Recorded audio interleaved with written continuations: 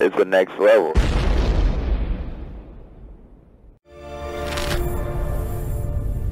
In the end, there was only one.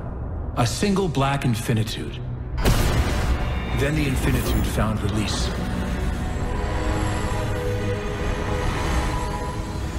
And finally, the darkness broke, filling it with life.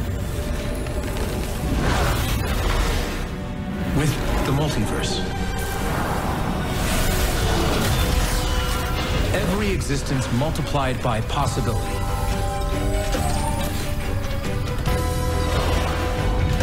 And spread out before space and time in infinite measure.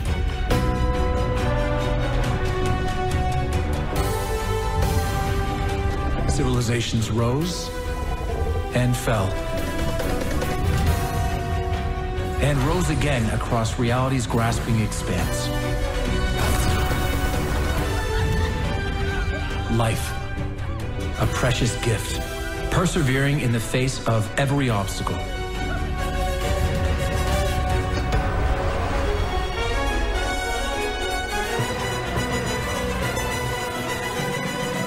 Until, finally, the age of heroes was born.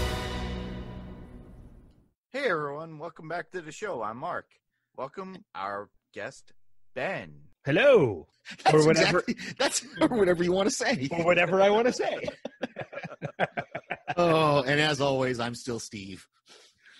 So on this episode, we're going to discuss the CWDC Universe crossover show, which is Crisis on Infinite Earths parts four and five. This special episode will follow a slightly different format, but I have a little bit of knowledge about the DC Comics run of this story and the CW DC Universe shows. Steve only knows what he watched in this and these episodes per se, and obviously Ben, if you haven't listened to the DC Primetime Network show, oh my God, why haven't you? Uh, he's here and he will give clarifications because obviously my knowledge and my memory sucks. At least I can claim total ignorance. So, well, I mean, and and that's the thing too. Like going back and re-listening to parts, you know, when you guys recapped parts one through three and listening to it, Steve's got an excuse for being incorrect in a couple things. Mark, not so much, but it's fine. We have a bunch of first takes. What were your first takes basically basically for these uh first two episodes of uh, or the last two actually So, so my impression of these final two was, I mean, let's be real. I was incredibly excited to see how this was going to wrap, and I was not disappointed slightly in the least. I've rewatched the I rewatched episodes one through parts one through three after they aired. Actually, I rewatched them a couple times uh, with no complaints. I've rewatched parts four and five once or twice again already, and I've even rewatched the entire Crisis as a whole. And that's saying a lot considering they just aired the other day. Uh, I've already put my time in, and even in my rewatches, I have no complaints whatsoever. I was incredibly satisfied with how this wrapped up and I'm looking forward to the shakeup this is going to make to the uh, the Arrowverse as a whole. oh definitely it's amazing so steve what do you have so for me, these last two episodes were like the first three. I felt like I was able to follow them, even though I hadn't watched any of this stuff. But these these last two, there was a few things that really confused me, and I had to go to IMDb and I had to go check a couple other sources just so I could understand kind of what was going on and who was who and who was doing what. And I'm still cloudy on quite a bit of it, actually. Was it more? Was it more the final part that confused you? Because part Yes. three, I was going to say, because Yeah. part four, there's not a lot of difference. There's there's no really additional characters Yeah, than part- were parts one through three. Yeah, the only thing that confused me was the cameo in part four, and once I figured out who that what that cameo was, it made more sense. But no, part five was the big. Just I was just like, huh? Yeah, gotcha. yeah Where? Why? And and we'll get when we get down and- further down, yeah. you'll you'll hear some of my questions about part five. So and and the cameo that nobody saw coming, which was so amazing. Oh yeah. what about you, Mark? Well, basically, the episode was really both episodes. Honestly, were interesting due to the history of the Monitor, plus how Lex was instrumental and yet still devious, just like his counterpart in the comic. But it, it just basically gave us an insight of the Anti Monitor and where he came from, and that is what I really wanted to see because within the first three, we really didn't get any sort of history with what was going on with the anti monitor. We got a little bit. Um, A little we got bit. A, a little bit of a backstory in his explanation that his family was was killed, and you know the anti monitor took them away from him as well. But yeah, you're right. We didn't get much of anything other than that. Yeah. So we'll continue on with thoughts on part four, Arrow season eight, episode eight. So Ben, start us off. Hmm. So, where to begin? Uh, You know, it's you know from where we left off with everybody stranded at the vanishing point. I was really curious to how they were going to figure out a way around that, and I'm really glad that they went with the Speed Force being the one thing that they needed to get out of there, with some assistance from the Spectre, which. um Man, oh man, I'm so excited that they went that route with Oliver. Yeah, they changed it basically from the comic to the show, though. Well, but they kind of have to. Yeah, they do. Crisis is such a massive storyline. You know, we have characters that should be in Crisis that aren't. Uh, you know, there are characters that were basically gone by the end of Crisis that are still around because you couldn't kill them off in the in this because you basically have to end shows by doing that. Uh, so of course they had to make some adaptations, but uh, you know, compared to what they did with the comic and what they did with the television show, I wasn't disappointed in the changes in the least. I kind of feel like everything worked, and you know, in the sense of Oliver becoming the Spectre and everything that happens by the end of part four, uh, you know, this is the Arrow episode, so I thought it was kind of appropriate that they did it all in this episode, and Oliver did make that final sacrifice. And in a way, he became the new monitor. Oh yeah, You yeah, know, he the did. the monitor was the one that kind of you know because the monitor we by the everything that happens in this episode they kind of rewrite the monitor story and that he's no longer the one that brings everybody together and it's oliver that creates the new multiverse you know in facing off against the anti-monitor and then we get that voiceover at the end of part five which is the the same voiceover that started the whole thing just with the with uh the monitor doing it so in a sense he became the new monitor by the end Okay, that just broke my brain.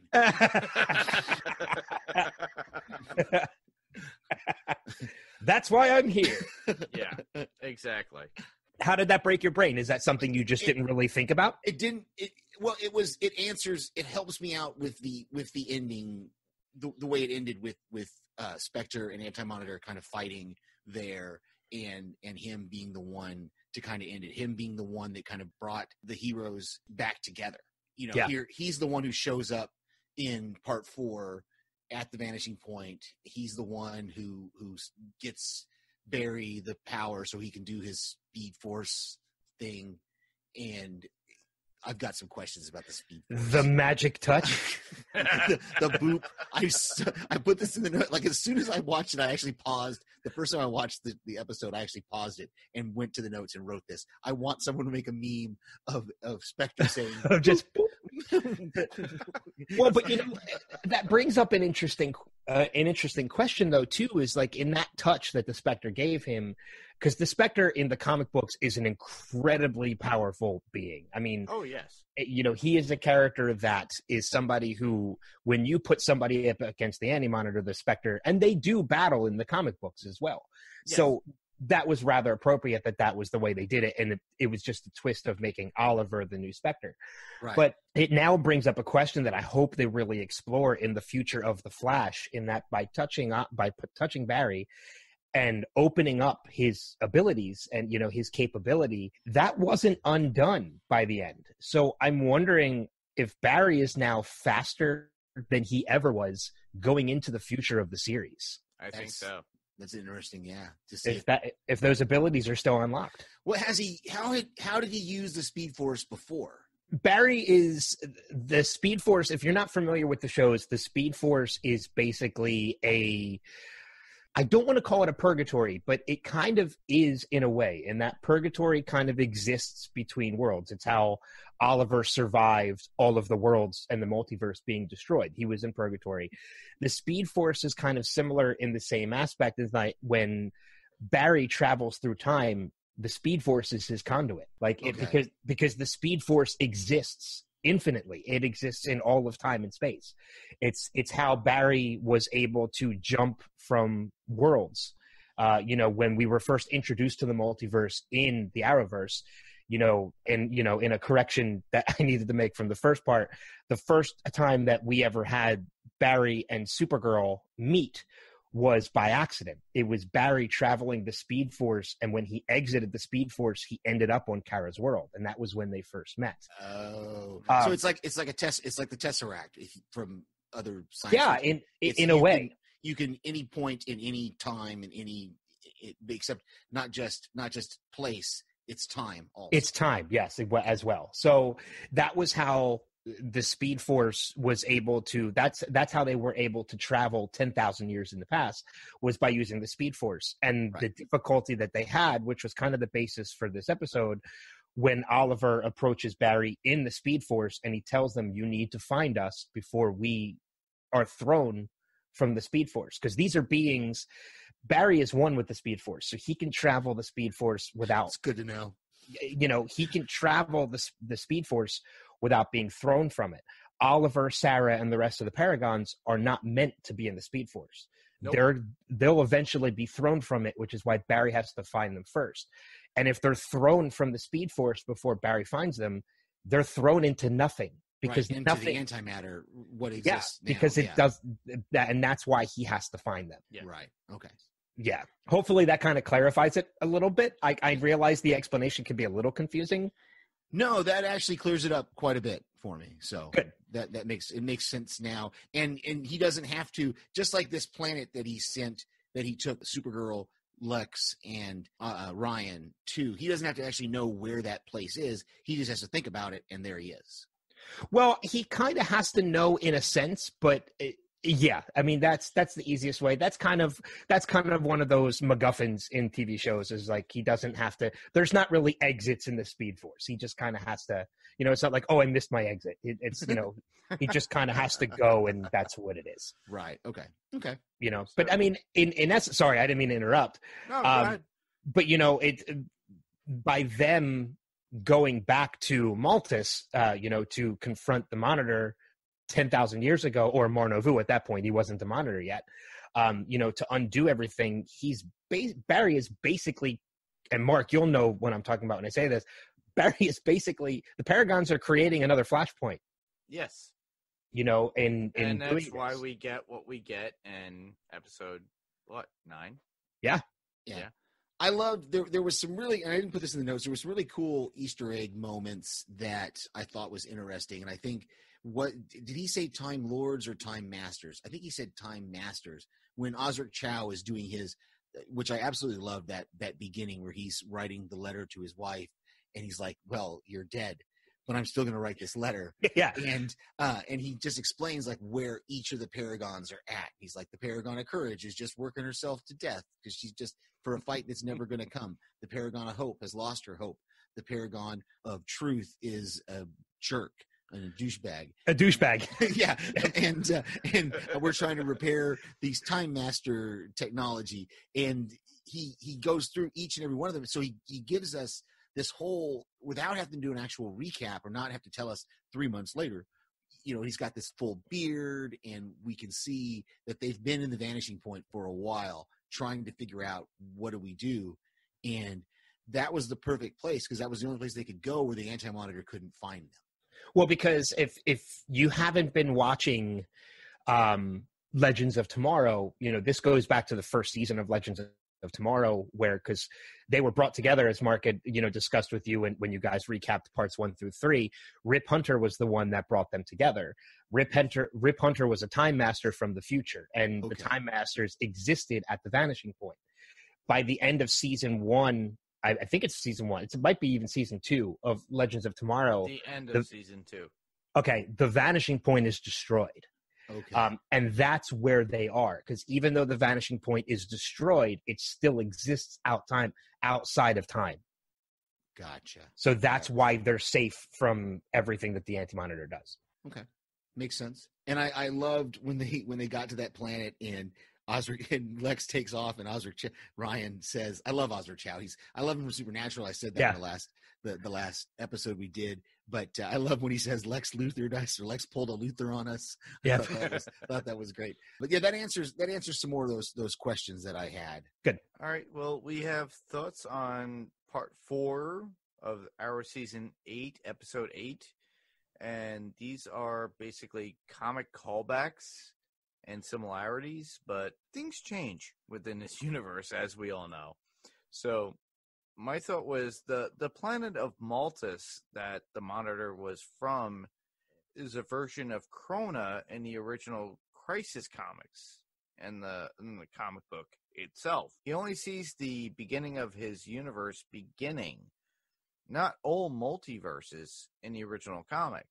So, but is this the dawning of the multiverse when we when he actually does do that, which creates the multiverse within the comic due to his work as a scientist and creating the anti-monitor?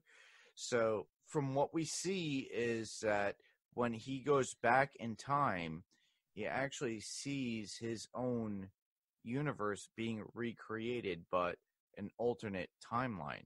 So, Ben, correct me.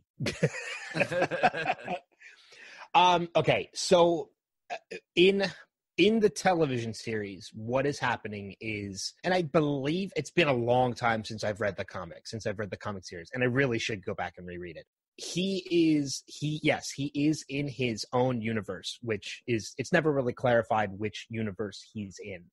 exactly. Um, but he he is not aware of the multiverse. But at this point in time, the multiverse does exist. It is established a little bit later in part five that at that point in time, the multiverse does exist because there's a moment in part five where you know the anti monitor comes back and they're like well what why is this happening we stopped the monitor from going back and the anti monitor says you stopped that monitor from coming to visit me there are multiple other earths or multiple other universes in which that monitor comes to see me you can't stop them all ah, okay. so at the point of his it, when we see him 10,000 years in the past on Maltus, the multiverse does in fact exist. Mar Novu is just not aware of it. And then he goes back to the beginning of time, which is what we see, and that's when worlds collide and the anti-monitor is technically created because there's no separation of of matter and antimatter at that point. That's when it in that's in essence when it happens. So the anti-monitor is created in his likeness and it doesn't matter again which version of Mar Novu it was. They stopped one; they're not going to stop them all. Yeah, that was something that I put in my part five notes was that jumped out at me a realization is that there is no anti multiverse. Anti multiverse? There's there's only one antimatter universe. There's there's the universe which includes all of the multiverse, and then there's the mul- the antiverse, right. which is what he was trying to create. Right, and that's and that's why there's only one of him, but it, it, but there's multiples of the other guy, and there was no way they were ever going to be able to stop all of them. Yes, They would have had to go to every single multiverse version, and Ryan would have got tired of making his speech. he would have died before he was able Yeah. because there's an infinite number of Earths. Exactly. So Yeah. you know, he it, it would have it would have been impossible. You know, which is why like I had somebody ask I had saw I had seen somebody post online that they thought part they thought part five was kind of useless. And I'm like, no, it really wasn't because you had to you, you kind of had to fix that whole point that there really was more than one Mar Novu. This was going to happen. This mm-hmm. this was something that was inevitable. And not only did you ha- did you need part five to set that up and establish that, you needed to establish Earth Prime. You know, Yeah. so part five was needed. It wasn't a useless. It was not a useless part no, no. setting. Part five, part five sets up all your whatever TV series shows are going to be left, Yeah, it sets up done. it sets up the change that's going to happen to every one of these shows. and it gives them the opportunity if they with some of the shows that they referenced in the in that little montage Oh, there at the very Love it. end, it. gives them the chance to give those back, bring those back, maybe. well, because yeah. you there are, and we'll get to this when we talk to part when we talk Yeah. part five. But there are two moments in that whole montage at the end that um are series that are happening. Okay, cool. Oh yeah. Every one of those moments that we got is or is going to be a series. Very cool. That's why they're all in there. It's basically expanding on the universe that they already have, and that would be the DC app that we have with uh, Teen Titans. Oh, it's just Titans. I needed to correct you on that last week too. Oh, it's just Titans. It's All just right. Titans. They're not Teen, Teen Titans is animated. DC Universe's show is just Titans. I always forget about that. That's Yep. that's the whole thing. And on top of that, because I don't subscribe to the DC app, un- unfortunately, so But, uh, what? yeah, exactly. I don't either. It's okay. Yeah, but also on top of that, we got Doom Patrol Yes. as well. So that that expands upon that as well, from what you were saying. Well, Doom Patrol, Swamp Thing. Um, Oh, yeah. there, there is a moment in there where we see the cast of Stargirl assembled, Yes. uh, and Green Lantern, which is a which is a new series coming. oh, it's, know, go- they- it's a they had a- go.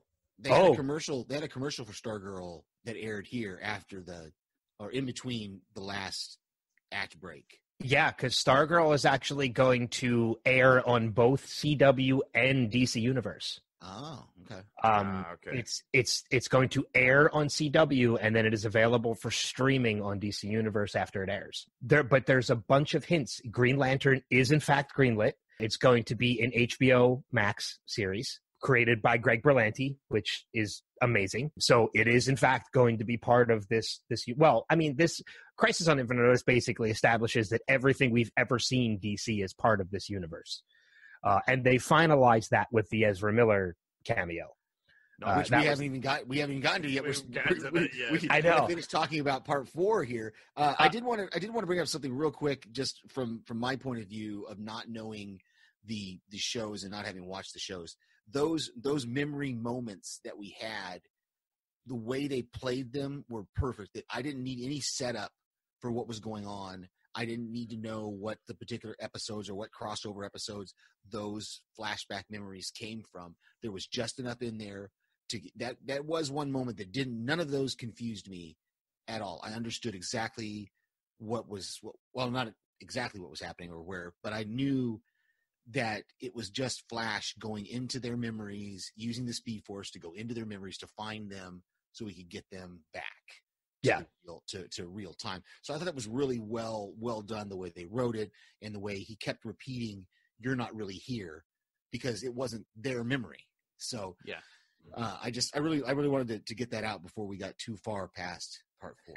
yeah, that's fine. I, I I tend to, and Steve, you know this from listening to the Lost podcast. I I tend to skip around a lot. oh no, it's fine. We do the same thing, so it's good. Okay. Um, yeah. The only the only other thing I wanted to make mention of too is you know at that and, and you know what? Forget it. I'll save it for when we get to part five. I'm Well, jumping around too much. But talk again. Talk a little bit about that that cameo because, like I said, that was one point that it, it did confuse me when I saw it. I had to I had to go into IMDb and figure out who this other Flash was. And once I saw who the other Flash was, I realized how monumentous that moment is because it does open up the TV shows. It's something that Marvel didn't do with the Netflix shows, but they have now opened up their TV show universe with their movie universe. Well, the Marvel, the Netflix shows have acknowledged though the the movie universe. Um, you know, um, Daredevil acknowledged the events that happened with the Avengers in New York City. So, I mean, it's been established that they are all, in fact, in the same universe. And, Yes. um, you know, um, Sarah from uh, Thor appeared in Agents of Shield. So, I mean, well, I mean, again, that's not a that's not a, a Netflix series because Right, right. Coulson was in fact from both. Um, But no, the Netflix shows have established that they're in the, in the same universe by mentioning events that happen. Right, but but the the Marvel Cinematic Universe has not acknowledged the Netflix shows. I guess is what I was what I was meaning. So none of those, except for Agents of Shield, which isn't a Netflix show, but Yeah. um, But they at least established that you know, even if it was just in the TV series, they did establish that they were in the same universe. Yeah. The the the DC television and DCEU have never at any point established that either of the other existed until this moment. yeah, and that's why it was so huge. Yes. And the background of this cameo happening is just such an amazing story that I if Mark, if you don't know it, I will tell it. Yo, tell it. I feel like I'm taking over your podcast. No, please, Do it, that's why we it, brought you here. We need So- we need an expert. So Marc Guggenheim, who is the um obviously the the head honcho of the shows at um at CW and Warner Brothers, uh, you know, he's basically in charge of the television elements. You know, they basically they just greenlit the Flash standalone movie that's going to be happening, and the head honcho over at Warner Brothers called Marc Guggenheim and said, "Hey, any chance you can get Ezra in the crossover?" And you know, Guggenheim got excited. He's like, uh, "Yeah, let's do this." And the guy at Warner Brothers was like, "Well, how do you want to do it? Because I know you're already wrapped on filming." He's like, "You tell us you can give us Ezra, we'll make it happen." So their next step was to call Grant because they were not going to do it without permission from Grant because this is Grant's baby. This is like he's the guy that's playing Barry Allen right now. Yeah. So if Grant wasn't behind it, they were not going to do it. So they called Grant. Again, they're already wrapped at this Yeah. point. You know, they're they're already wrapped crisis. So it was going to be asking a lot to for Grant to come back and do this. And they called Grant and Grant was extremely excited. He's like, "Yes, let's do this. Like let's make this happen." So they called Ezra. They let Ezra know that they had permission to use him. Does he want to do it? And Ezra was very excited as well. So these two got together. They brought back an entire crew from Flash back up to Toronto to film just this short scene between the two of them, and it got ended. It got edited in in post production, and you know, so this is a scene that was actually filmed after Crisis was already over, after they were done filming everything That's very Uh, cool. and it changes the landscape of the DC properties because now not only did we see this cameo of Ezra Miller as the Flash in this universe, and again, this is the magnificence of the Speed Force. Like this is how these two these two guys were able to exist in the same spot was because of the Speed Force. They're both they yeah. both exist in the Speed Force. that makes sense. Yep. Uh, it does. you know and so now not only was this a, did it give us this great moment in the television series but now with the flash movie coming this gives us an opportunity to possibly give grant gustin a cameo in the flash film Right. Oh, Which that's would be cool. Amazing. yeah That's cool. Uh, the only other thing I had from part four is that for me, anyway, the ending was a little bit as as powerful as it was with Oliver sacrificing himself in order for the universes to come back, in order for in order for Earth Prime to be created. It was a little anticlimactic for me that as he's fighting, it's just the Paragons doing their Care Bear stare. yeah yeah thing, you know, uh, to how do we help him? Just focus, just focus and look. And I was just like, seriously, really? Yeah, Is I know. Like, but it, it, it was it just me, or was it a little easy?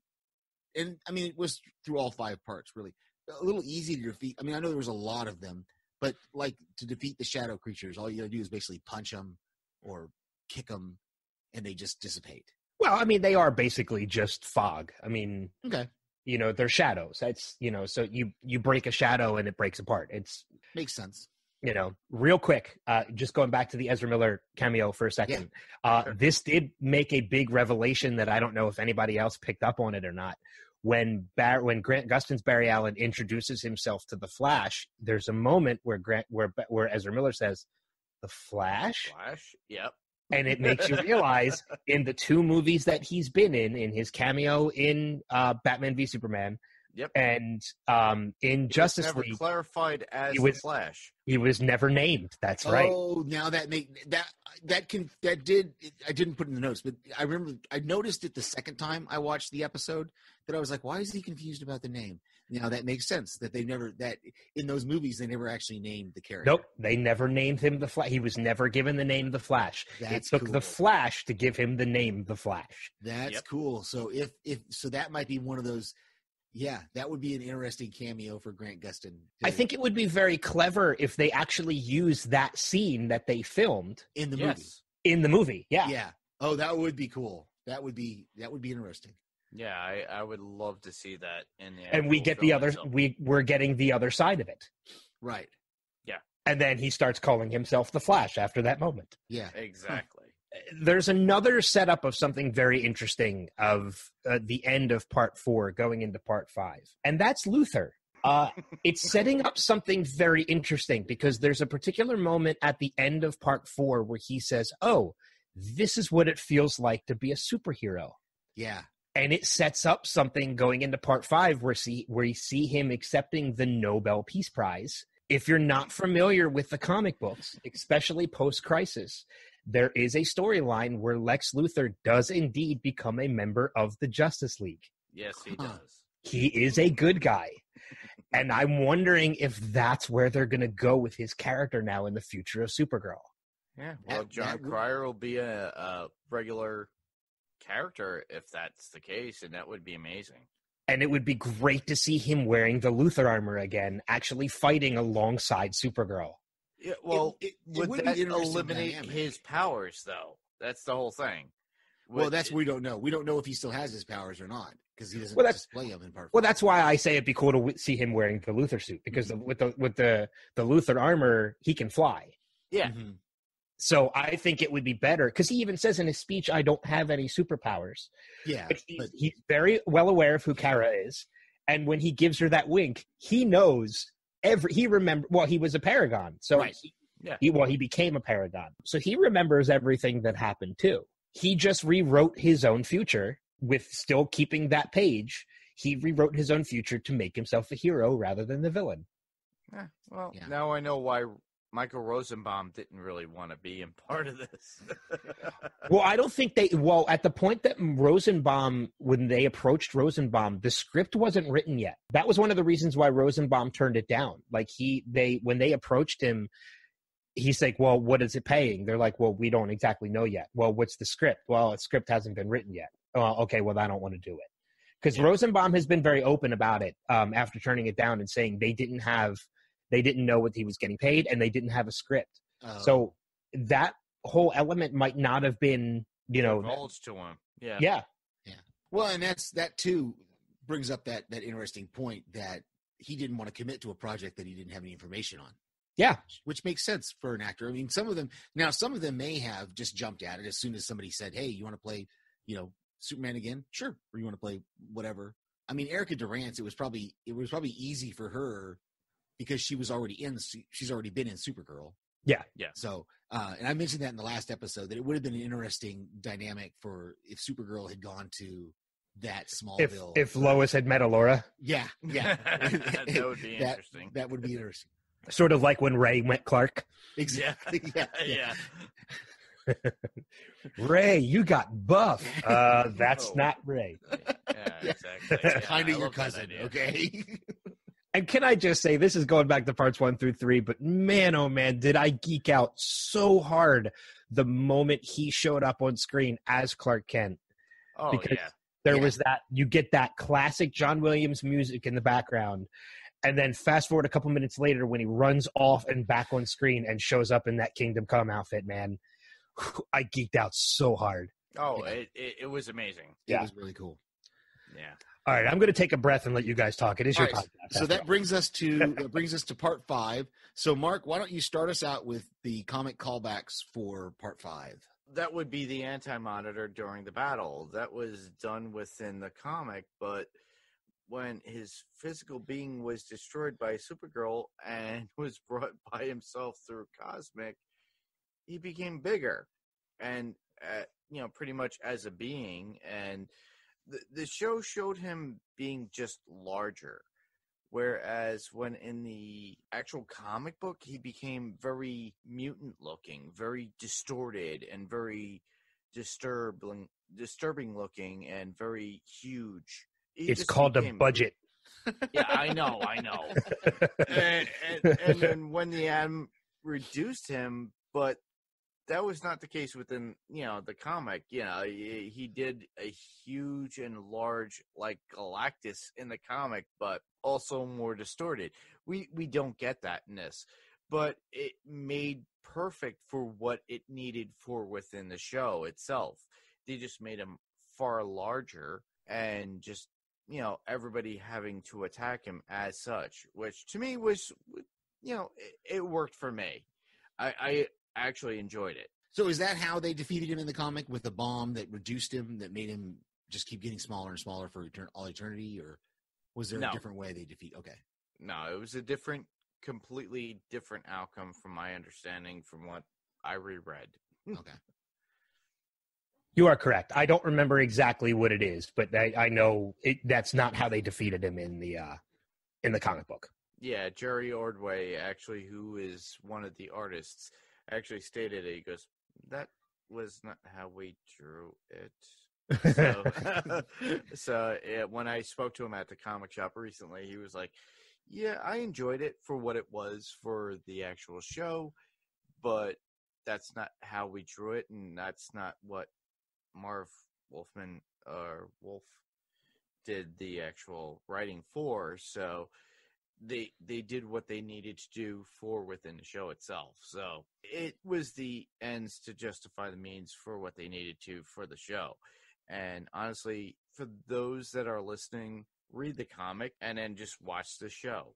You know, they're they're two different entities. You know, honestly, in, in my opinion, you know, they're two different things and you have to watch and read. So if you have never read Crisis on Infinite Earths, go out there and buy it. There is a trade paperback out there. So go out there and get it. If not, just live what, what we have with the CW because honestly, we all loved watching these things that are from panels to pixels. But everything is interpreted. I see what in you did there. so Yeah, was there I- anything? Was there anything else that was that, that was a callback to the comic book? Well, Other than the guy that wrote it, Well, that I didn't know about that until I saw Mark uh, mention that. Uh, uh, So the guy that this is the, the the the man that comes up asking for the autograph there Yeah. from Flash and Supergirl. He's the guy who actually wrote the the comic. Uh, it, it makes you wonder if they did they contact Jerry to try to get the illustrator in there also. I don't know. I I have not asked Jerry since because he's just been watching, and I you know we we pass each other by at the comic shop. That's about it. but uh, he he said he's been enjoying the show as it is. Good. So you know, it, it, coming from an artist that actually drew on the comic book, and him saying he is actually enjoying the actual show, that makes sense. Very cool. So So we've already discussed most of the, the questions and, and comments I had uh, regarding this episode, but I do have one big question that towards the end of the second watch that I really wanted somebody somebody needs to explain to me. What is the difference between White Canary and Black Canary? Besides, I understand they're two different people with two different White outfits, but um, White Canary is basically a trained assassin. Uh, Black Canary is a metahuman with the ability of like a siren, a, a siren scream. Okay. So which one was Arrow and which one was Legends of Tomorrow? They actually both started on Arrow. White Canary came after Black Canary, but White Canary was then moved to Legends at a certain point. And- she's Um, the one that they kept calling Captain. Yes, because she is the ca- she is the captain of the Waverider. She is the new leader of the Legends of Tomorrow. Okay, cool, cool. That makes sense. Um, that was that was the that was where I was getting confused. I was just like, oh, I have to what? And and Mark, to go back to your last episode, um, not so much a correction, but more of a little bit of an explanation. Uh, Sure. And this is kind of addressed more at Steve as well, too, because Steve was asking about this. The Legends of Tomorrow, when that show was created, was these weren't like a bunch of like loser characters. The basically the premise behind Legends of Tomorrow was they took these characters from these shows that were actually fan favorite characters. Um, you know, you had Heat Wave and uh, Captain Cold from The Flash. You had Yep. Sarah from Arrow. Uh, you had Ray Palmer from Arrow and The Flash because he kind of crossed over to both. You Mm-hmm. had all these characters that were actually fan favorites with the fans, but they really didn't have a place to put them on the show anymore. Yeah. So that was where they created Legends of Tomorrow. Oh, okay. Well, that And- makes sense then. they kind Well- of brought them all together. Yeah, they they brought them all together because uh, apparently they thought of them as people that didn't go anywhere, and they They were they were outcasts. yeah exactly, and Yeah. they weren't anywhere in history in their minds, quote unquote, and They were they were expendable characters. Exactly As as Rip Hunter, who initially brought them all together, told them when it comes to this when it comes to the history of Earth, where when it comes to the history of the the Age of Heroes, you are all expendable. Right. Yeah. None of them. None of them were gonna were gonna headline their own show. Yes. exactly. So they put them all. That makes sense. I like it. Yeah. Yeah. I'm gonna check it out. It's it's on my list. let me tell you, le- I I'm a huge fan of the Flash. Like I love the Flash and and everything. Yeah. Legends has been phenomenal. It's, it- it's Every season, gets and fun. yes. It and it's the closest thing out of all of these shows to a live action comic book. Like Yeah. it's it's there is an underlying continuous story throughout everything, but for the most part, it's one off stories every week. It's like you just finished Cool. one issue, you can jump right into the next. Cool. and they expand upon that between every other show that's on the CW too. That Yeah, that's 'cause- my feeling. Yeah, well, the legends have played a part in all of them. Oh yeah, definitely. And the Okay. legends, and this kind of dives into part five as well. And this was something they kind of did on all on all five parts, but it happened the most in part five. And it's typ- it, it's typical legends territory of break of pseudo breaking the fourth wall. And that you know when Ray Palmer says, "Wait, did we miss another crossover?" I love those moments. I I love all love those that. moments. And and when they when they legends when they were like, did you get kidnapped? we we set one out and they they commit a felony. You Yeah. know, I And was I will tell they you, constantly talk about the crossover, and it's the whole thing. It's like, all right, my where's- but I will tell you though, my favorite moment of all of the pseudo fourth wall breaks didn't come from Ray. It didn't come from Sarah. It came from Diggle. And it was when Diggle was said when they're doing this whole explanation of the crossovers, and John Diggle's like, "I'm never letting my kids watch this show again." I was- Dude, I I that. lost it. I was like, "Oh my god, that was amazing!" yeah, yeah, definitely was. We'll continue on, and we'll actually talk about uh, great show moments. You actually took a bunch of mine. so- Sorry, but uh, sorry. uh, Uh, come on, bringing back a Beebo. That was a callback to a Legends of Tomorrow episode. Come on, that that, that was oh, amazing. That was multiple. Legends of Tomorrow episodes. Oh yeah, um and oh my god and the beauty of it is too like a little bit of a side story i actually moderated a panel this past summer with a couple members of the legends of tomorrow and a couple cast members of the legends of tomorrow. And they mentioned it in this crossover in part five about how you know all the they had all these totems come together to create a big beebo that they use to defeat the big bad of the season um this was not this past season it was the season before that and I remember Nick Zano, who plays Steel, who actually is in the crossover. He's one of the people on the ship that they kind of go back to. He's the one that mentions they kidnap and, and create a felony. Right. Okay. Um, he actually they they shared a story about when they first read the script about transforming into Beebo. They were like, um, "Yeah, we're gonna lose the audience on this. this this is not going to work this like we are totally jumping the shark on this and like I, we're going to do it because it's written but I'm guaranteeing we're going to lose the audience and he says and then the, and then the finale aired and the fans effing loved it Very cool. he's like and then you fast forward to this next season this last season finale. He's like where the show ends with me on a guitar singing a, a um singing a song with the guy that played biff. And there's a minotaur there and a bunch of other people. He's like if we didn't jump the shark last season we're jumping the shark this season. And the fans effing loved it. He's like so now i don't question a damn thing the writers put in there because the fans are going to love it so Beebo has been and Sarah kind of even mentions it. White Canary even mentions it like Beebo, like you could do this, you could do this, but Beebo is sacred territory. Yeah. And that's another techno pseudo fourth wall break because that's the truth when it comes to that show. The fans effing love Beebo. Oh yeah. nice, nice. Yeah. Yeah. Uh, the next part I would have would be Gleek. We Gleek. got Gleek Yeah. At the end of the episode with the Super Friends theme. And the Hall of Justice. Yes. And the empty chair for Oliver Queen or Elijah, Yes. whichever one comes back first. Yeah. Which who? It's a Jewish thing. They, Oh. when they do Passover, they, they always leave an empty chair for Elijah. Oh, okay. Yeah. Sorry, I got religious on you for a second. No, it's fine. Okay, it's fine. But yeah, I just leaving, that that was one of those moments. That I was like, why do they have a chair? I like, like I understand we're honoring Oliver, but why do you have a chair for him? well, um, it's yeah, it's an honor. It's you know, it's Yeah. basically an honor of Oliver. It's there's a chair for Oliver because he was part of that team. Yeah, yeah. So, but yeah, seeing the table of the of the Justice League, seeing uh the seeing the empty cage of Gleek, which God, they better bring him in at some point. If they could do Grodd, they can do Gleek. Uh, exactly. That's what I brought up at, at certain points in my notes. Is the fact that, that they had Grodd and what was it, Star City, and what is the name of Flash's compound? I always forget. Oh, uh, Star Labs. Star Labs, yeah, Yeah. So the, if they had a, a cage for Grodd, then they had a cage for Gleek, Yes. and he was something else that they experimented on. So come on.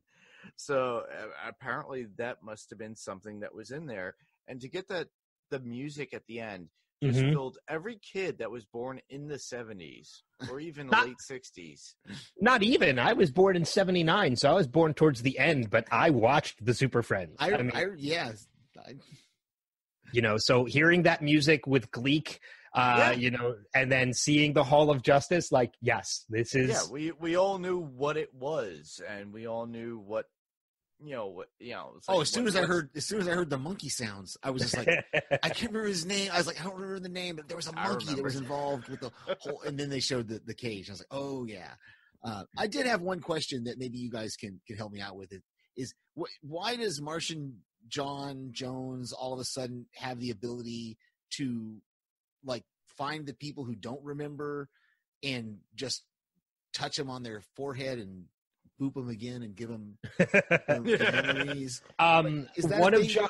One of John's Mar- he's used this before. Um, Okay. John, John's one of John's Martian abilities is he does have the ability to unlock certain areas of the brain.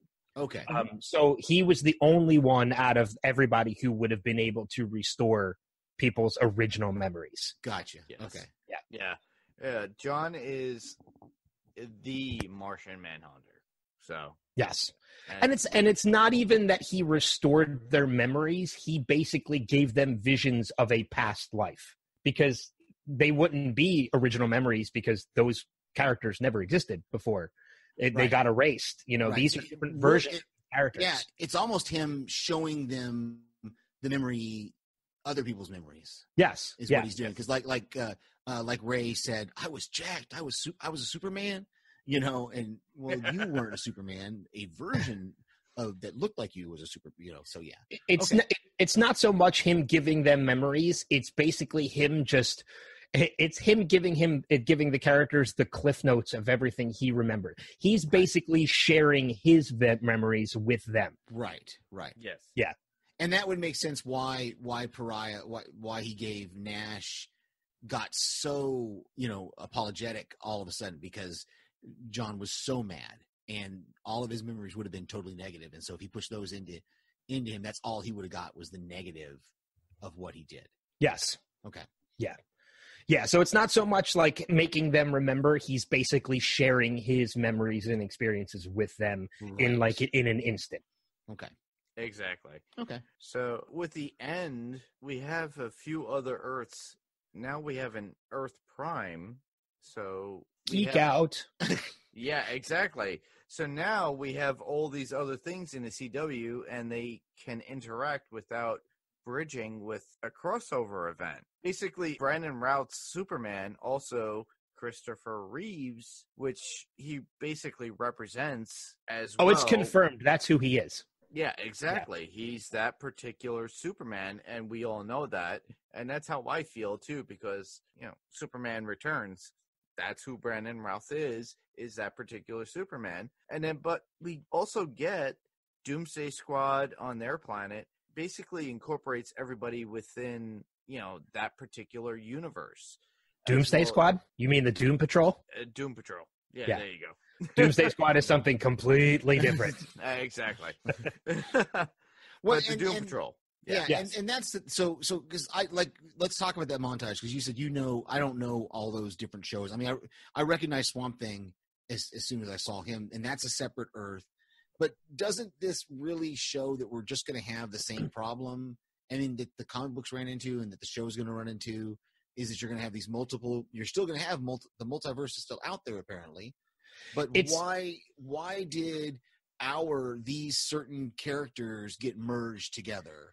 this was basically a way for them to because you know when you have parts one through three and you get that montage in the beginning of part one where you see you know earth um, earth 89 with batman's world and you know you get smallville's world and you get earth 666 with lucifer which my god that was amazing. Um uh because I, wasn't i was hopeful but i wasn't expecting so it was a surprise when i got it. You know and then you get earth 9 which is where the titans are from. And you know all these earths were erased from existence. And if you don't correct that by the end of this you leave open the question well okay if all we're seeing is earth prime does that mean the titans are now part of that earth? Does that mean that all these other ones are part of that earth? But all of these other shows exist. So you, this was basically just a way for the producers to kind of course correct and say okay these shows are back these shows are going to continue they're not going to cross over with this universe anymore because they never really did to begin with. These are the characters that are going to interact with each other. All of these other ones are just going to be off on their own.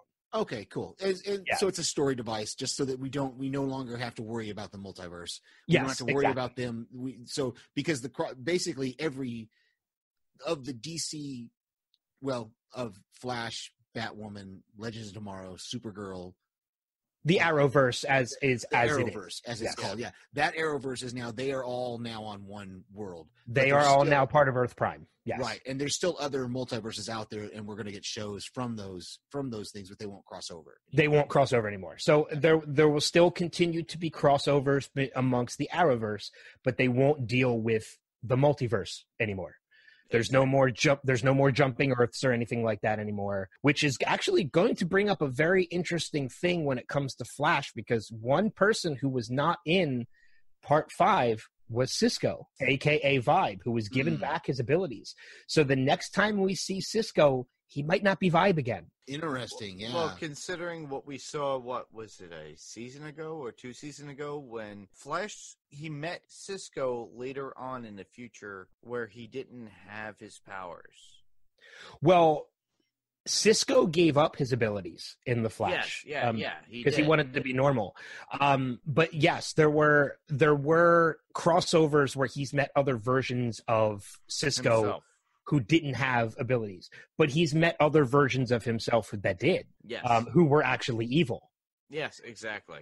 So now these these with this multiverse all being a part of Earth Prime, it's now a good possibility that those versions of himself never existed Oh, because it kind of merged all these versions together. Right. you know so it's it's going to be very interesting to see what they do with cisco's character on the flash now because as the ability of a vibe is he's able to jump from point to point but he was also able to jump from earth to earth with that ability you can still keep him as vibe and give him the point to point abilities but there's really no point now keeping him from world to world Right. Right. Exactly. he doesn't have to do that anymore Right. And and it'll be interesting. It's intriguing with these shows going forward. What are we going to see like when Batwoman goes back to Gotham? I'm assuming that she's going to go back to oh yeah Gotham City. she's going back and to Gotham. She's now going to have to interact with people who have different memories. Or well they're, they're all going to have to do They're that all going to yeah. They're all going to be interacting with people that have different. Just like just like Supergirl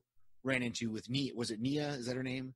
Nia, the- yeah yeah you know she's the only lex she knows is the good guy lex And, and it, it's going to be very interesting because it, it's going to be an interesting dynamic because who are they going to clue into what the actual to what they remember and what they Mhm. not? Because obviously they let ray in on it. They let caitlin in on it. You know mick was let in on it and and all of them about what was what had actually happened. But you're right like now does john give nia the the vision so that she remembers everything?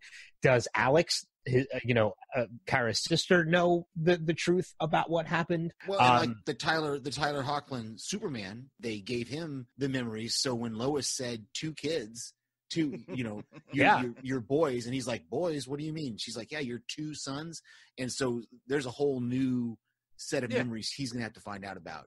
Well, as it's in- well. And Diggle has uh, uh Sarah back.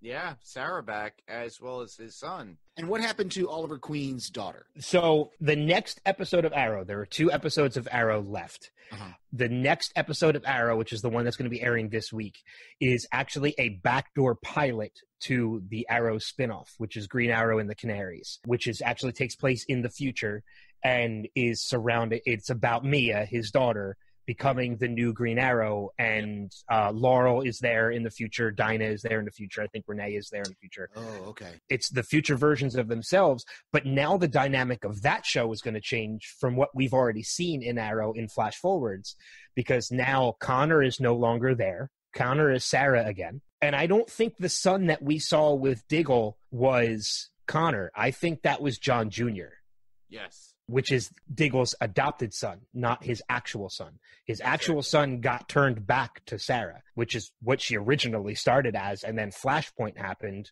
which changed Sarah to Connor, or, or JJ rather. Or maybe I'm confused. I don't know. Maybe Connor is the adopted son. I have Connor- no idea. Connor is the adopted son all of it. sorry, Connor is the adopted son. So it's going to be interesting now because Connor's one of the main characters of the Flash Forwards and Arrow, and now he's gone thanks to Crisis.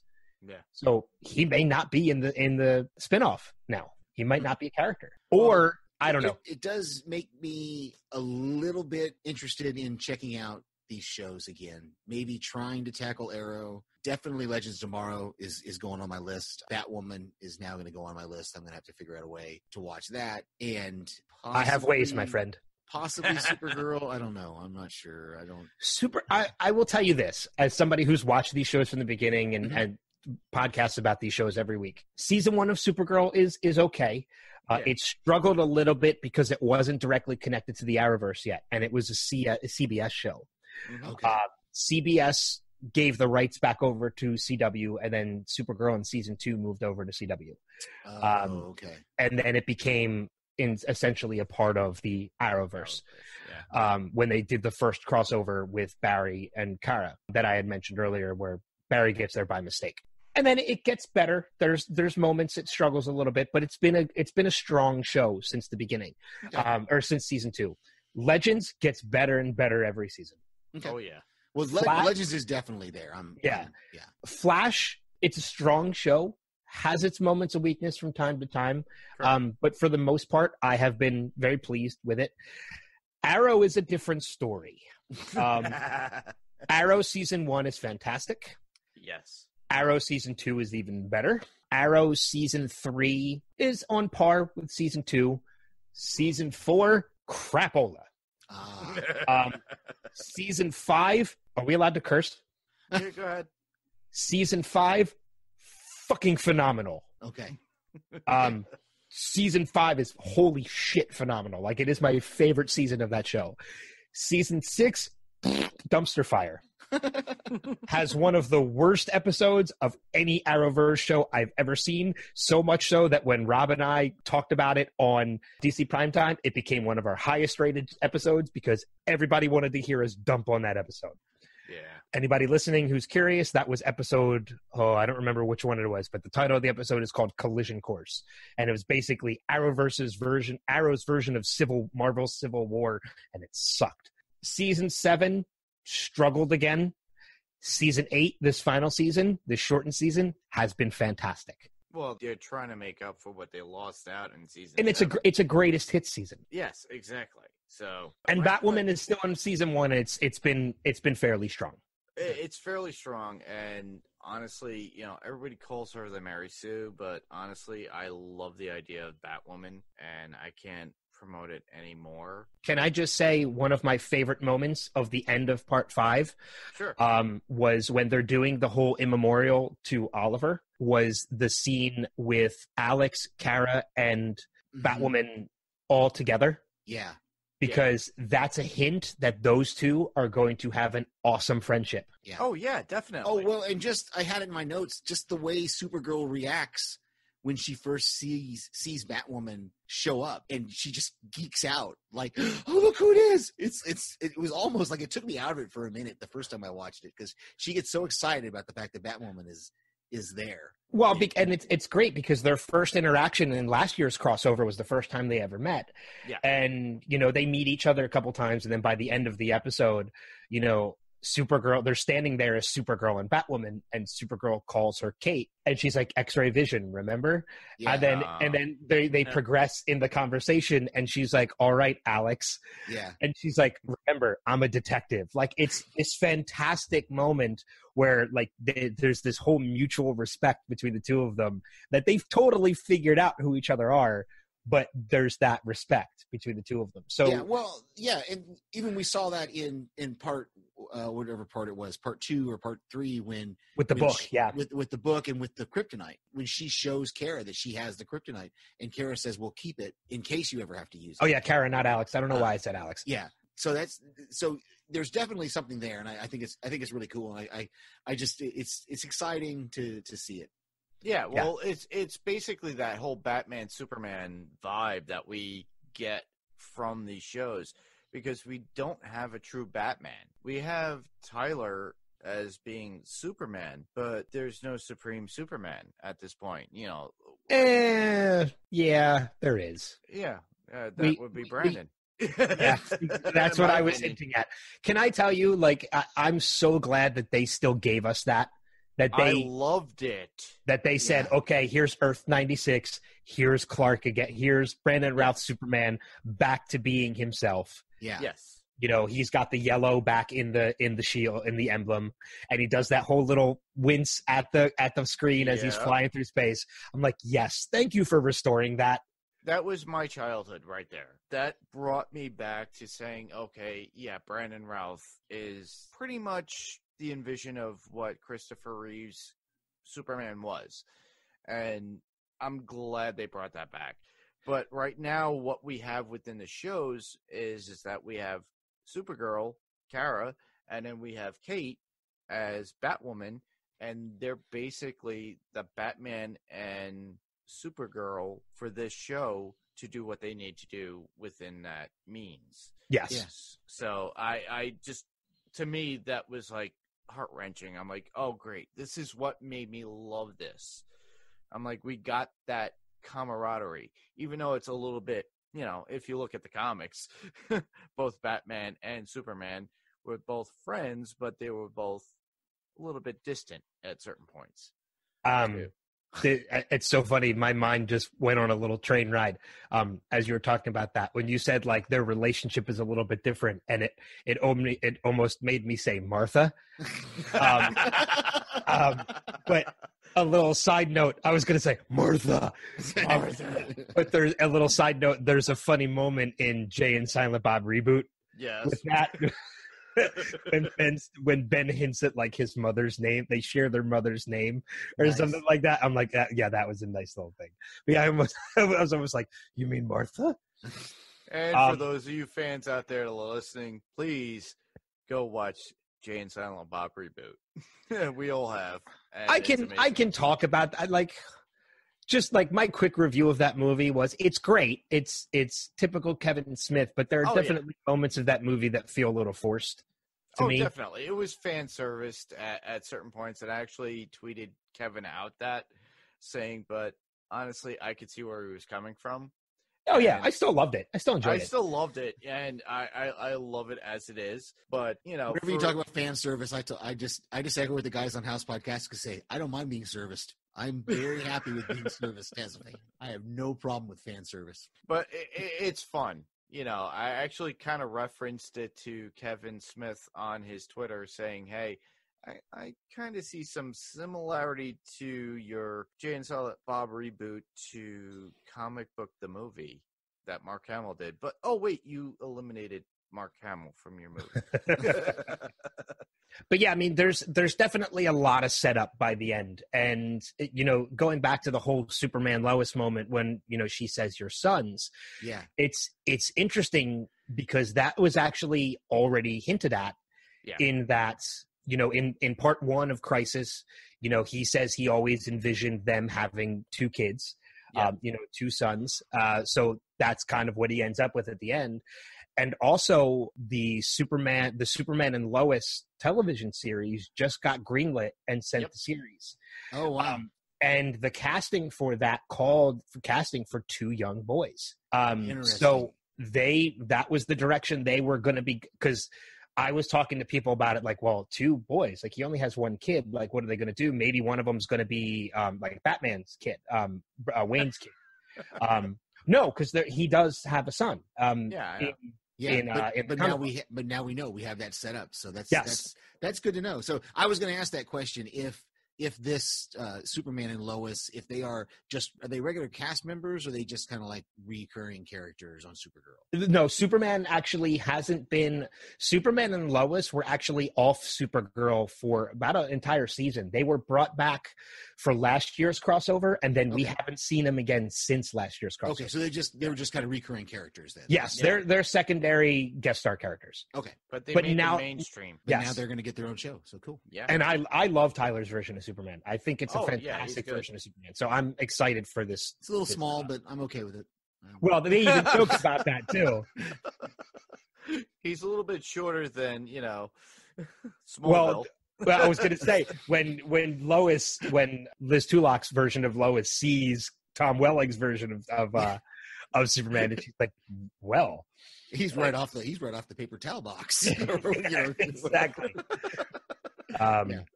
Yeah. Which can I tell you? That was another fantastic moment that I loved from oh, part same two. here.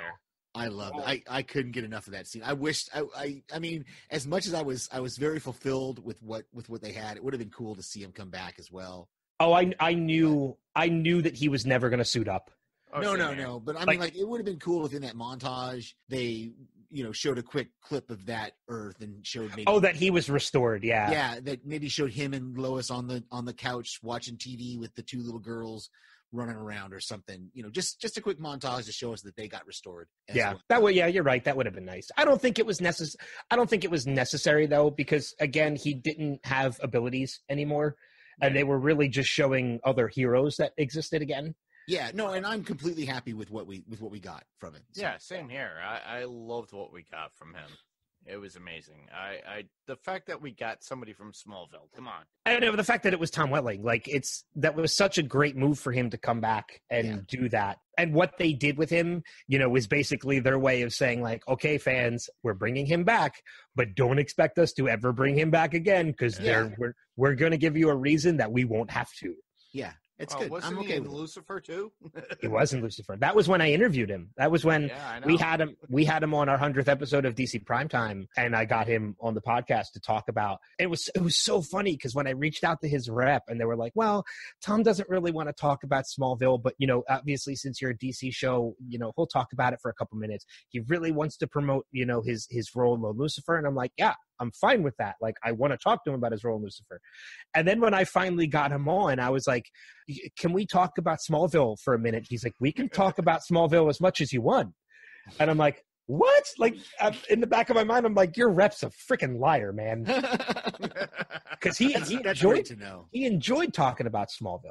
Yeah, you know, I but he- he's come to that point in his life where he accepted it and he enjoys it and he enjoys the actual celebrity from it. And because now he started doing cons now too. Oh yeah, and him Um, you know, and he does them a lot now. Him and Rosenbaum. Yeah, it's it's amazing what they're doing. And it was so funny because when I had him on, I asked him, I'm like, okay, I've got you here. Let's just set the record straight. The rumor out there is there was a no flights, no tights thing that you set from from episode one that you were never going to fly, you were never going to wear the suit. Is that true? He's like, that is absolutely true. wow. Like I Yeah. said from the beginning that this was about Clark's development and it was about Clark not Superman. He's like, so that was the agreement from the very beginning that I was never going to suit up as Superman and I was never going to fly.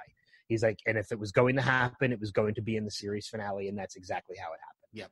Yeah. So, so when they announced he was coming back for Crisis, and like the internet went freaking wild, man. They're like, we're gonna finally get to see him as Superman. I'm like, no, you're not. Same here. I knew that it was going to Yeah. happen, but you know, honestly, I enjoyed what I got, and I love Tom Welling for doing that, and it showed a lot. And Yeah. you know, I, I would, you know, I would love to see Rosie on your show, though. On the, I'm I'm trying, man. We're celebrating our 200th this week. Actually, we have yet to record. Congratulations. It's also our final episode. yes, you guys were time? saying that that you're, Um, you're done, huh? We're recording the 200th, which is parts four and five of Crisis, and then we've got one more episode, which is our epilogue. And we are going to have some special guests on our epilogue. Some of them have been recorded already. Others we're still trying to work out scheduling to get them in. So it might be like a week or two out before our epilogue airs. Um, because we want to get these in, but actually, what's today at the time we're recording this? It's Thursday, correct? yes, correct. Um, 16th.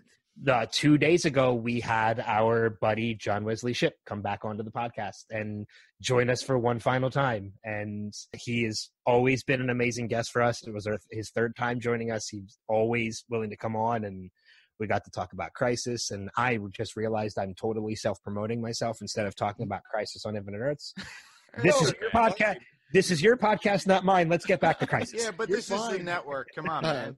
uh, but we we love it, and I can't wait to hear what you guys uh, what you guys said about these two episodes. And I'm I I want to say if we I know we said at the beginning, and we're we're getting towards winding down here, but I I do want to thank you very much for coming on our podcast, Ben. Yeah, of course. I love talking. And that's the thing. Like, we're not doing DC Prime Time anymore, but anytime you guys, like, you guys are basically going to be taking the torch of the DC stuff. Oh. Um, That's a You heavy, know- that's a heavy load, man. well, you don't have to do it every. okay. You don't have to. You don't have to do it weekly, like we do. Like when you're covering the crossovers and stuff like that. We're Yeah. not recording anymore about DC, but we're still going to be watching. yeah. So Right. I will happily still come back on. It'll actually give me the chance to geek out because I won't have my platform anymore to do it. We're Rob and I are still going to keep podcasting. Uh, it's just the the the DC chapter has is coming to an end. Um, but you will always have a seat here, and you will always be welcomed. You know that. don't say that because I'll just say see you next week. well, I don't think we're even sure what we're doing next week yet. So Uh, but no, man, like anytime I get the chance to come on, you know, I I always appreciate. I love as if as if, as if it hasn't been revealed yet in my previous guests on your podcast and this one. I like to uh, I like to do this thing called talk. I do it a lot. You guys have all met me in person. I tend to do it in person as well, uh, which is why podcasting has always been a great platform for me because it gives me the chance to talk, which I like to do. So, you know, yeah, I will always welcome an opportunity to guest, not just on this podcast, but any podcast I get a chance. Absolutely. Well, Mark, your final thoughts on Crisis on Infinite Earths? Well, my final thoughts on Crisis on Infinite Earths for this lovely little mini-series crossover. I I really enjoyed the show. They had to do a lot with what they had within their own universe because of basically licensing and what characters they had, but I think they made it work very well and I loved it. A lot better than Smallville's Justice League, but we got Hey, man. years ago. Smallville's Justice League still gave us Doctor Fate and Hawkman, so I'm okay right. with it. That's yeah, right. that is true, and we lost that on Hawkman and Hawkgirl. Uh, we never got Diggle as uh, the Green Lantern that you and I spoke about. On a side note, Yeah. I, you know what? I'm not disappointed with that. I, I I'm okay with it. Rob was dead set that it was going to happen, and I'm like, well, if it's going to happen, it's going to happen on Crisis. And if it doesn't happen on Crisis, it's not going to happen at all. it's not gonna happen. Yeah. but Yeah. honestly, we didn't get it. But honestly, I'm happy with what we got at the end, and the little kid in me is so happy and glee fact that we got actually a Justice League at the end. You Yeah. know, uh, they actually had all the chairs. They had this abandoned warehouse where they paid tribute to Ollie, and they had a round table. And obviously, we got the little leak thing at the end. Wait, Gleek was in this? well, not really, but in a sense, they segued to it and gave us the little music, and I was, yeah, the little kid in me was like so happy. It was like, oh my god, this is amazing. I would never have dreamed that this would have happened at all. Uh, you know, to me, uh, I, I'm just happy. Yeah. And the fact that, you know, the the show ended at a very well and very rounded way. So now we have more to look forward to with Batwoman. We have I don't know if it's the last season of The Flash or No. They've all been renewed for new seasons. I was gonna say even Legends has got another Yeah. season coming. Everything- I think, I think Arrow's the only one that's ending. Rumors of cancellations of any of these shows are only speculation. They're far from true. Every show, with the exception of Arrow, got a renewal for next season. I just hope we see the the continuing actors that are in those shows. That's the whole thing. I don't want to see Brandon Routh leave. I don't want to see Brandon Routh is leaving. Yeah, I know. I was going to say you don't want to see Brandon Routh leave. He's leaving. I know he. I know he's leaving, but I don't want to see him leave. I don't either. I think he's a fantastic addition to that show. Yeah, but uh, the the thing is, is that we're getting more, and that's the whole Yeah. point. And the fact that we're getting a Superman show now. We're losing Arrow, but we're getting Superman and Lois, and we're getting Green Arrow and the Canaries. Yeah, I'm, I'm actually kind of excited. uh, yeah, I'm exactly. I'm actually kind of excited to to, to check that out because it's going to be in the. I like stuff that's set in the future, and it's going to be interesting to see. So I may that may be one for us to to look at in the coming weeks and months. So yeah, we'll look into it more, and uh, we'll continue on with that. Uh, Yeah. depending on when it premieres and what we do, maybe we'll do a, uh three episode recap. Who knows? But we should move on to movie shows and what's going on in comic news. So, with that, Ben, I know you saw this. The new Black Widow trailer hit, and you know we got more David Harbour. What do you think? That's all I need. David Harbour is is all I need. I mean, look, I'm I'm going to be completely honest. I'm I love the Marvel films, but after Spider-Man Far From Home and even during Spider-Man Far From Home, I like Endgame, don't get me wrong, was phenomenal. Like I absolutely Yeah. loved every second of it. I cried, I cheered, I still get chills at the Avengers Assemble scene. Oh. Yeah. You know, but man, by the end of that movie, I was i was Marvel exhausted um uh, you know it, it's been 10 years and Yeah. like even the only reason why i was still excited for spider-man far from home was because kevin feige had flat out said this is the end of phase three like this is the end of the infinity saga it's not endgame it's far from home right. um this is the epilogue to to the infinity saga exactly. Black Widow, I'm excited, but man, like the Marvel fatigue has set in, and while I'm excited, it's Marvel now to me isn't one of those I need to see it opening day movies anymore. I'm not as excited for Black Widow as I have been for other movies in the past, and I feel like it's because with the death of Black Widow in Endgame, spoilers, I feel like this movie's kind of coming a little too late. I thought so too, and it, it should have came years before, between Civil War and Infinity War. At least. Yeah, uh, you know, I feel like this was something they were alluding to. That it's been rumored for a while they were giving Black Widow a movie, and I kind of feel like finally greenlighting it after after Endgame. It's it's I feel like it was it's too late. It's past its time. Um, Unless they were able to get her back from the dead, I don't know. they're, well, they're- it's a prequel. Yeah, So I know, but I'm saying, but like, if they're able to manipulate something in the future in another film to make it some sort of multiverse where they could bring back Black Widow. Well, it's, it's interesting that you bring up multiverse in Marvel because there is another movie that had a trailer, and I'm, I'll save it for when you bring it up. Um, Okay. But I have a interesting theory about this movie uh, So- when you bring it up. It's in your notes, so I'm not exhausted with the Marvel movies simply because I don't throw stones on thousands, hundreds of miles away. Well, the thing is, I is haven't that- seen all of them. Well, So for me, I'm excited. I don't want to be on this podcast anymore. I'm excited, uh, but you know, now with Disney Plus, I can go back and watch them all, or eventually I'll be able to watch all of them. Most Um, of them. If if they're not on Disney Plus, they're still on Netflix. Yeah, Yeah. exactly. So I, I'll, I'll get them.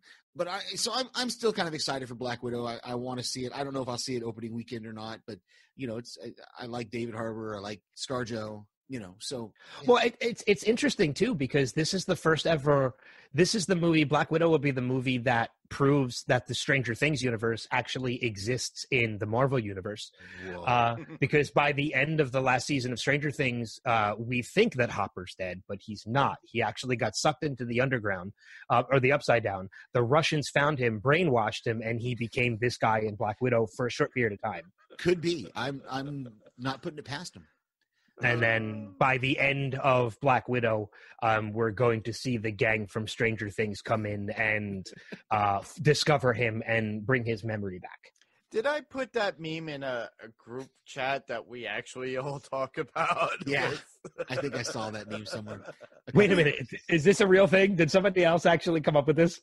Yes, I put Oh, a I'm- meme in the, the Zed Heads chat where Yeah, we they- actually I put the meme in there saying, "Oh, we know now where Harper is," and it Where was Hopper went to? Where Hopper went. Yeah. Yeah, yeah.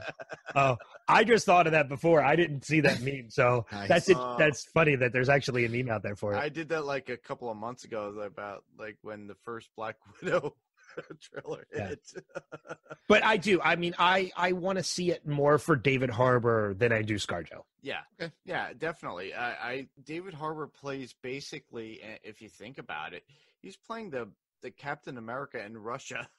But Yeah, That's gained a lot of exactly who that character is. Yeah. He's basically Ru- he's basically Captain Russia, Yeah. Yeah. Very cool. Comrade Russia. yeah, exactly.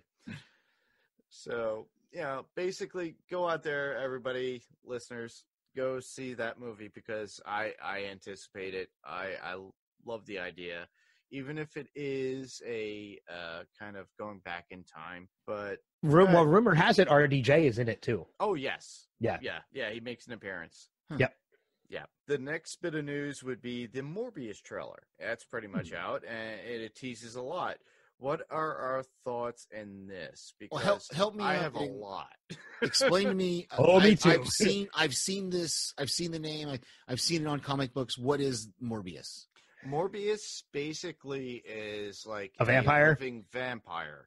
Yeah. Basically, he was a doctor that was trying to cure his blood illness, and within that, he becomes a living vampire. This is kind of like the Dark Marvel at that point. You have Morbius, the living vampire. You have Werewolf by Night, which was found in with J. Jonah Jameson's son through being an astronaut and you know becoming a, a werewolf. Act, You had the. Night Stalkers, uh, the Night um, Stalkers. Yeah, the Night Stalkers who incorporated Ghost Rider and Blade, uh, Johnny Blaze, and a couple other characters. exactly. Uh, and I think at certain points in their storyline, I think they even hunted Morbius yes, they Oh, did. at cool. certain points. Yeah.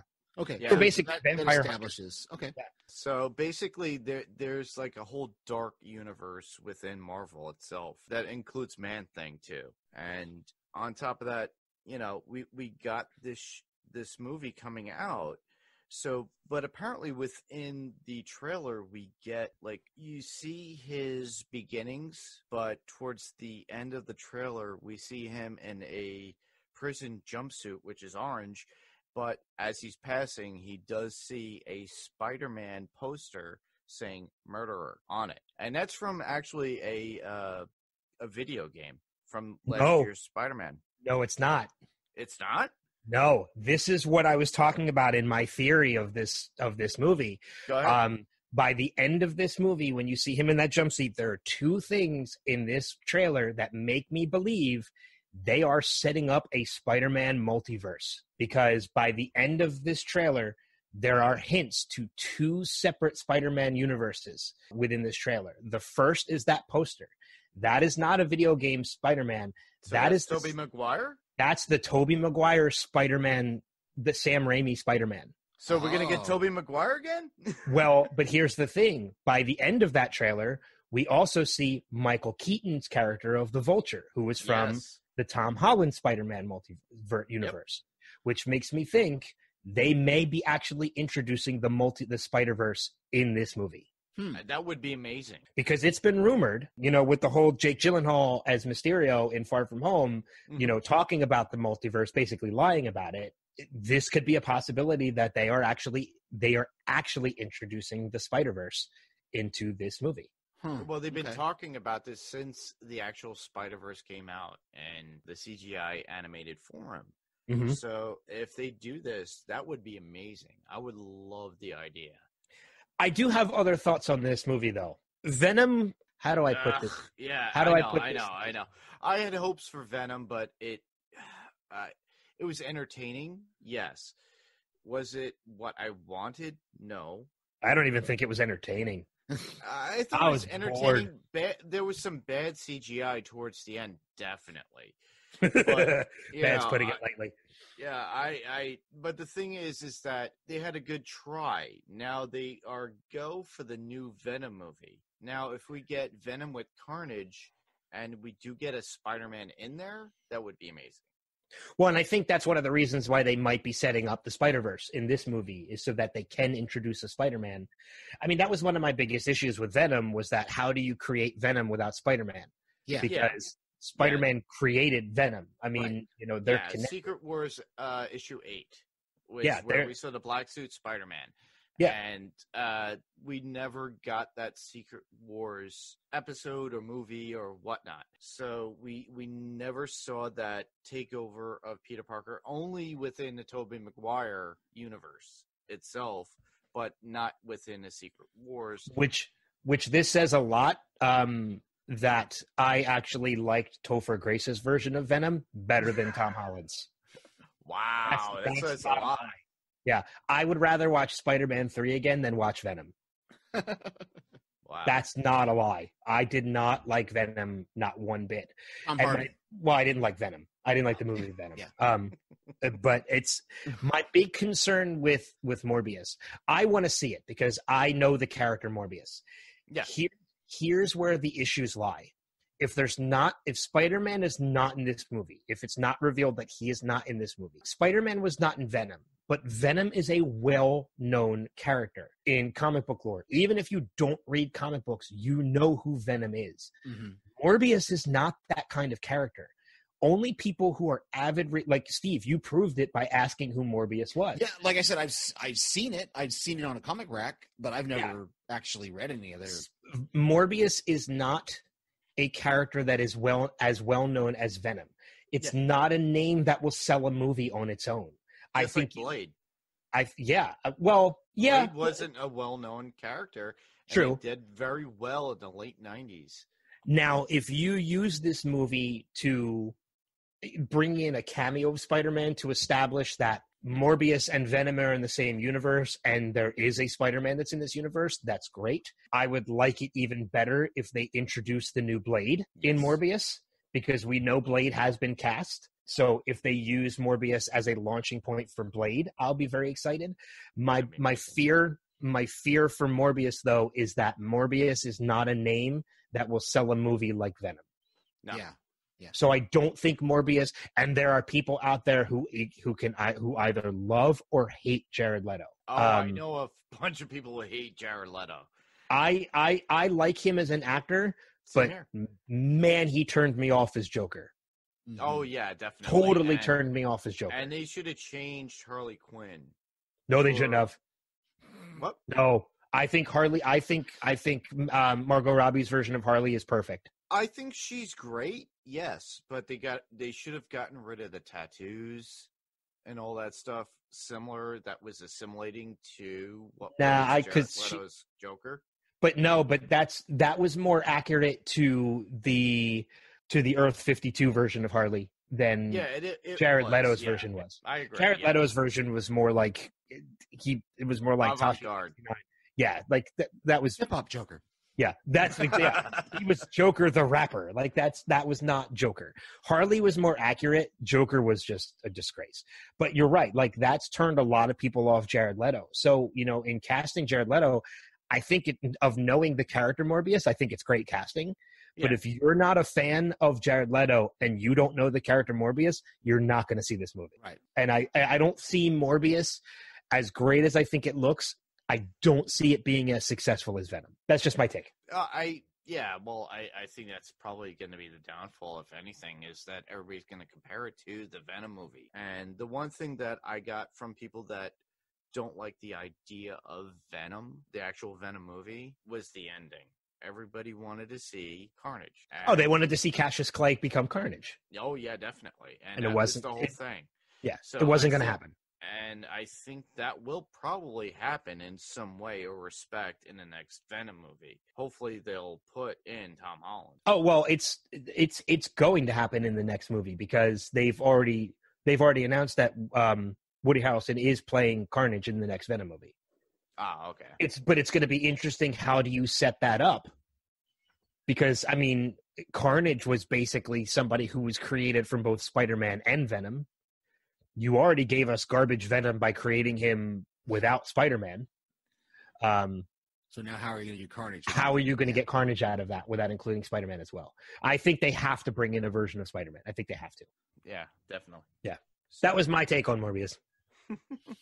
a little bit more news. Basically, uh, Disney Plus was basically canceling Hawkeye. I did not hear this. I, I yeah, heard didn't about know. this. Hmm. Uh, apparently, uh, it's all rumor as Yeah. far as from what I know. But basically, you know, Disney Plus was considering canceling Hawkeye. I was really interested in it, but I'm not a huge Hawkeye fan. But I'm curious about this. Apparently, Jared. Uh, no, Jared Leto. Jeez, we are talking about Jared Leto. God, I would never watch Hawkeye. Jeremy Renner. Jeremy Renner. Apparently, he made uh, accusations back in October, and I guess this got on Disney's radar based upon his wife and him wanting to kill her and himself based upon their divorce. And this was the reason why they wanted to end the show because they didn't want to have bad press. So I'm not sure exactly what's going on. I tried looking further into it, but I couldn't find much. I didn't hear anything about that with with Jeremy Renner. I haven't heard any issues with like the wife and divorce and all that. I mean, that's not to say it's not true. I just haven't heard any of it. Yeah, I don't know. I mean, I it wasn't even scheduled for like until 2021 or something like that, wasn't it? I mean, it wasn't even scheduled for this year. So Yeah, they Next year. They- yeah, definitely. It was for next year. But apparently I mean, it, sounds like we don't. There's not much information out there. there's not really much information about it, but th- the one thing uh, it's like like one day my phone blew up with all information about Jeremy Renner and Hawkeye because I have everything about Marvel and it's like, "Oh, he said this back in October. Oh, Hawkeye is being canceled. What's going on?" Did you So- get this did you get this from we got this covered.com? No, I did not. Okay, good. it was through Twitter and uh, through various different means, and everybody's like, "No, it's it's still on. It's still on." And I'm like, "Okay, if it's still on." And then I haven't heard anything since about it, so I don't know.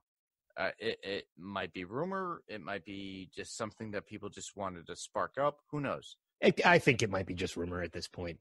Yeah, yeah. Well, As long as they still give us the what if series, I'm happy. Oh, definitely. Same here. Because from what I saw about, you know, with Captain America Oh, and Peggy becoming Captain America is going to be amazing. exactly, and as well as the zombies. Yep. Come on, you saw that.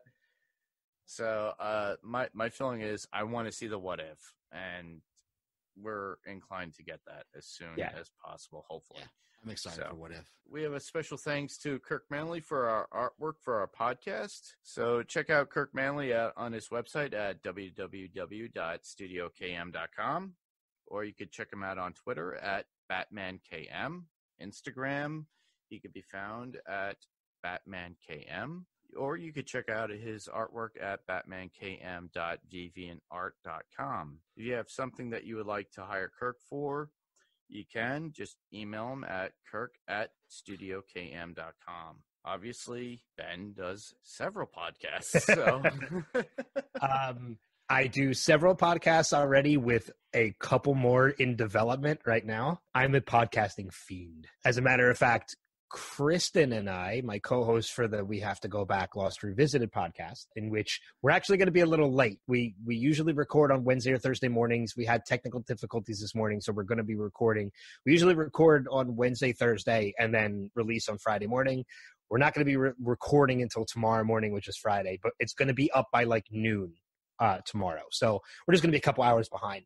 But Kristen and I actually, when we talked this morning, actually came up with a new podcast idea that the moment we came up with it, we absolutely loved it. And we are 100% going to do it. Uh, I'll give you a little backstory as to how it happened. Kristen found this article online of the top ranked Brad Pitt movies and we found that a lot of the movies that were on the list should have been much higher and some of them were at the top shouldn't have been on the list at all. And the the phrase that kept coming from our mouths if you know kristen and i you will completely understand uh, was this is bullshit.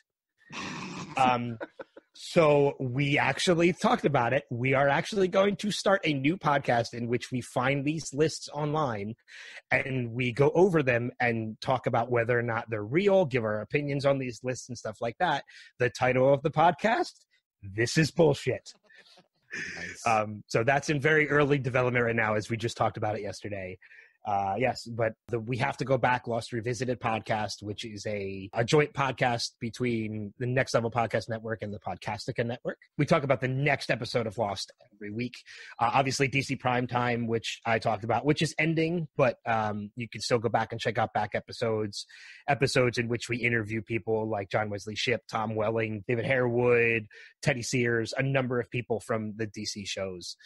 Uh, I have the Spotlight, which is going to be coming back, which is my celebrity interview podcast, which is going to be coming back uh, by next month uh, in February with all new celebrity interviews. And yeah, that's about all I'm on. I have other shows I'm developing too, including a film podcast, which was originally called Wilhelm, and now it's going to be called Spoiler Dome. Nice. Um, or be oh, uh, what did I? Oh shit, what did I call it? Um, damn it. I i changed the name. Oh i think it's beyond oh beyond beyond spoiler dome. But yeah beyond spoiler dome is going to be a film roundtable podcast uh in which obviously spoilers are going to be allowed to fly. So but yeah that's that's me in a podcasting nutshell. Well to submit your feedback for our podcast you can submit your feedback on facebook. We have a, a group on facebook which is just facebook.com slash panels to pixels you can also email us at panels to pixels1 at gmail.com. That's panels to pixels1. The TO is spelled out right there in the middle, and then the number one at gmail.com. You can call us and leave a voicemail at 845 350 2095. We are also now on YouTube. You can find us at Panels to Pixels Podcast on YouTube. So just search it out and give us a thumbs up, share us with your friends. It's great. If you listen to your podcast, however you listen to your podcast, whether you listen to them Spotify, Google Play, Apple iTunes, whatever podcast player of choice, or YouTube, that's the way you listen to your podcasts. Please go on there, give us a rating, give us a review, let us know, and we will share it on the podcast. Can I just say real quick too that I am um, extremely happy and very pleased and proud to have you guys as part of Next Aww. Level. You guys have been great. I'm happy that you guys we we we renew contracts every year, um, and you guys renewed for another year. I hope you continue to keep with it as this network continues to grow. And yeah, I've just been very happy and pleased to have you guys as part of the network. Thanks. Well, we, we should hit on to it. I think we should hit 100. We might hit 100 this year. Good. I think we're at 70. This is 77, so 23 more. There's yeah. more than 23 weeks left. those are year. those are huge milestones, and I will. Um, I, I maybe I'll work some magic to get you guys a guest. Ooh. I, I don't know who, but I hear Jared Leto's doing it. oh, goodness. As long as he does the Joker voice. no. well, Mark, what about you? Where else can you be heard on the interwebs? Well, on the interwebs, you could actually hear me. I'm a co-host on the Walking Dead Talk Through with Brian Malash on Talk Through Media. We review the Walking Dead each week. This show will always stay on the Next Level Podcast Network, but there will be a link for Talk Through Media as well through our Facebook page, as well as so you could hear us and listen to us. Listen to us on talkthroughmedia.com on Apple Podcasts or wherever you get your podcasts. We currently are working on a lot of things. Brian currently right now is working on Picardcast. So there's a lot going on there. So if you're not subscribed, I suggest you subscribe. I know Ben is interested and is into the idea of Picard. So I'm. Oh, I can't wait. Oh yeah, I I, I want to be on the the first episode. I'm sure Brian's going to do a roundtable, so that's going to be a whole big venture. That guy So- is one of the biggest Star Trek fans I have ever met. oh, Um. Anytime I see Brian Malasha's posted, I'm like, "Ooh, what Star Trek news has come out now?" and that's not. I'm not. I'm not digging on him. Like that's that's great. I'm glad he has a passion for it, especially doing the podcasting about it. Yeah. Oh, definitely. With uh, Star Trek Discovery, the Picard cast, everything. So go through talkthroughmedia.com uh, dot com, and you can check out everything on Talkthrough Media that we have. Cool. So uh, talkthroughmedia.com website. Check that out. So you can hear me, of course, right here on uh, on this podcast, but I also submit voicemail feedback to many other podcasts, including the We Have to Go Back Lost Revisited podcast uh, with Ben and Kristen, and I usually send them a manifest minutes as well. Uh, I've done that this week, so We love your feedback too. uh, I love I love hearing my own voice. Apparently, Me uh, too. We have that in common. and uh, uh, I also submit uh, feedback regularly to Strange Indeed, which is a Podcastica network uh, show, which is now right now they are uh, following Netflix second season of You, and they're doing two episodes a week of that show, so you can hear me there also. So amazing stuff that's going on with all of us, obviously. I always recommend Ben Beck. Listen to the Celebrity Spotlight. I've got some some good guests that I'm uh, I'm working on for um for the spotlight when it comes back. Uh, I've I'm in negotiations, nothing solid yet, but there's one I'm very excited for, and I will just leave you with the hint. Let me see if I can do this properly. Uh? Oh no! Oh, exciting! Wow! Exciting. working on that one. I've been working on that one for a couple months now, so we'll see if that one uh if that one happens. That's uh that's one I've wanted for a long time. So it's it's looking promising right now that it might happen. So we'll we shall see. I might Oh have to give you some questions for that one. Hey man, anytime. Like, and I'm actually thinking of starting. I don't have any social media for the spotlight. Like, I don't have a Facebook page for it. I don't have a Twitter and Instagram. I, everything I do with the spotlight, I just do through the Next Level Facebook page. Which, by the way, if anybody wants to listen to any of the podcasts on Next Level, not just mine or yours, there's a lot of great podcasts on Next Level. Go to the nextlevelnetwork.com. That's the website, and then all the podcasts are there and links to their iTunes, Google, Spotify, everything can be found on the homepage. So that's the easiest way to do it. And facebook.com slash the next level network too. But I think I'm going to have to create some social media presence for the spotlight, especially if I start getting guests like that, because I do want people to have input and be able to ask questions and things like that. So uh, you might see like a spotlight Facebook page pop up sometime in the very near future. Very cool. Very cool. So with that, that's our show tonight. So thanks everyone for listening. I'm Mark. And I'm Steve. And I'm Ben apologizing for taking up most of your time. Oh come on, we love you. and this was Panels Pixels. Good night, everybody. Good night. Bye. Sounds like we need to call pest control. What was that?